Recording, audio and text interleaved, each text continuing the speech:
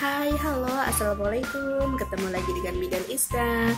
Pada tema kali ini kita akan bahas cara mencegah stunting sejak awal kehamilan. Uh, tapi sebelumnya jangan lupa untuk subscribe channel Bidan Isna, uh, kemudian like, comment, and uh, share ke sosial media yang kalian punya. Oke, terima kasih. Stunting adalah gangguan pertumbuhan pada anak anak yang biasanya tumbuh normal, namun anak yang menderita stunting dia akan cenderung kerdil. Dalam bahasa awamnya, uh, stunting juga sering disebut dengan kekurangan gizi. Nah, ibu-ibu, ternyata stunting itu bisa dicegah dari sejak awal kehamilan.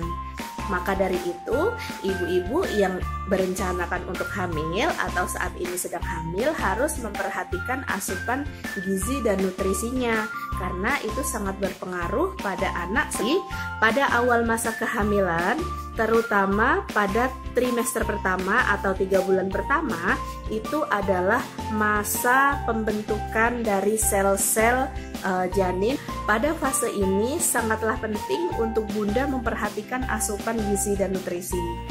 Pada awal masa kehamilan, memang sering ibu-ibu hamil itu mengeluhkan mual dan muntah.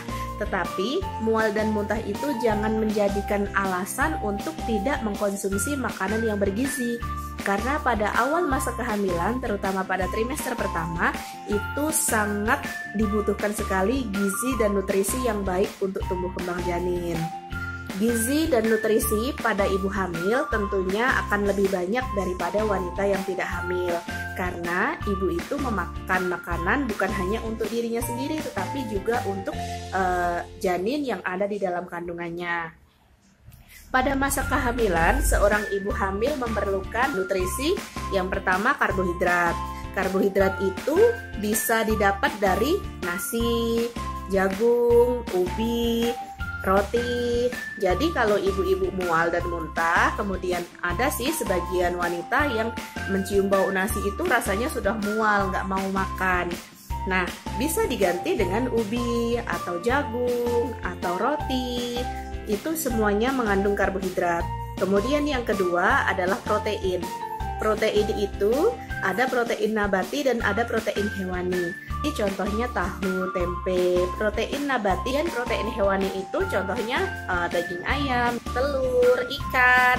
Nah, terutama ikan. Ibu-ibu hamil sangat penting untuk mengkonsumsi ikan karena di dalam ikan banyak terkandung zat-zat protein yang baik untuk uh, janin tapi usahakan ikan yang uh, tidak mengandung merkuri karena ikan yang mengandung merkuri berbahaya untuk janin.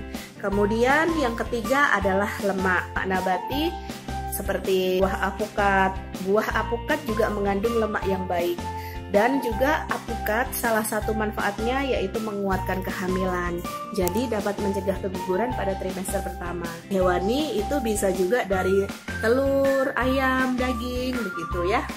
Yang keempat adalah vitamin dan mineral. Vitamin dan mineral itu dapat kita dapatkan dari buah-buahan dan sayur-sayuran, terutama sayuran hijau dan buah-buahan yang berwarna terang, semangka, kemudian uh, pepaya, jeruk, itu semuanya mengandung gizi, vitamin yang diperlukan untuk ibu hamil.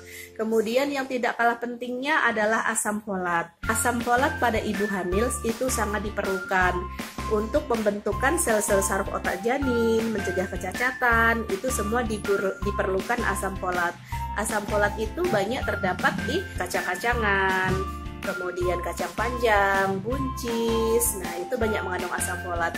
Kemudian harus memenuhi kecukupan Fe atau zat besi. Zat besi pada ibu hamil itu sangat penting karena zat besi itu adalah modal utama untuk pembentukan hemoglobin.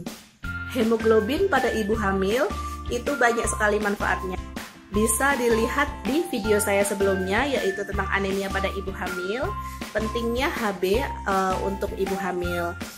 Apabila zat besi pada ibu hamil itu cukup, maka janin yang dilahirkan nanti akan cerdas. Kekurangan zat besi pada ibu hamil bisa beresiko janin atau bayi nanti lahir dengan uh, berbagai masalah seperti berat badannya kurang dan bahkan menyebabkan uh, janin lahir dengan uh, kurang cerdas begitu. Bagaimana ibu-ibu sudah jelaskan? Jadi stunting itu bisa dicegah sejak awal masa kehamilan. Bersemangatlah untuk memenuhi asupan nutrisi pada bayinya. Kemudian jangan jadikan mual dan muntah sebagai alasan ibu-ibu nggak mau makan Karena tidak mau makan itu bisa berakibat fatal pada bayi, pada janinnya Mungkin itu saja yang dapat saya sampaikan. Terima kasih. Jangan lupa untuk subscribe, uh, like, komen, dan sebarin ke sosial media yang kalian punya. Terima kasih. Wassalamualaikum warahmatullahi wabarakatuh.